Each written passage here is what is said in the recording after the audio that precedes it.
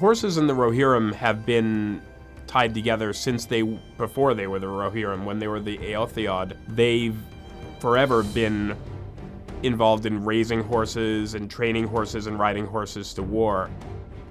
The Mearas are the lords of all horses. They're sort of a strain of horses with with extremely pure blood going back to time immemorial, who have developed this affection and mutual admiration for the kings of uh, and princes of Rohan. I looked uh, at horses that might have some kind of connection with royalty in the real world, and when you think about those, things that come to mind are the battle mounts of the High Middle Ages, and the Andalusian horse, the Carthusian horse, and the Frisian horse uh, have a body type and an anatomy that is extremely muscular, but not overly so. Just as you might um, think about a, a, lean thoroughbred for the track, you wouldn't expect to see an armored warrior riding that horse into battle.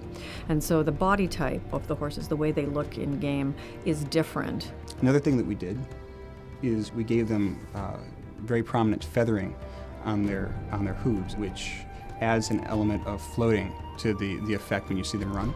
We are now at a point where the horses will be customizable in the way that avatars are. They'll have different slots that uh, uh, players will be able to, uh, you know, customize. You can now manipulate their appearance piece by piece. Your head and neck gear will be able to be changed. Your body gear on sort of the haunches, as well as you know leg protection. These are all things that players will be able to control individually. There are three different kinds of war steeds. There's a light, medium, and heavy. The light's going to be a little bit more mobile. Uh, the heavy steed will obviously be a little bit more of a tank. And each one of those steeds will have their own trait tree that as you progress, as you level up, uh, you'll get points that you can then dump into those trait trees. Traits that might include affecting things like your ability to turn sharply, balance oriented type things, your speed, how well they can evade in battle. You'll be able to ride your war steed around as a travel mount in the places where mounted combat isn't a game mechanic that's in play. There are a few that we're doing war steed versions of, so some of the most popular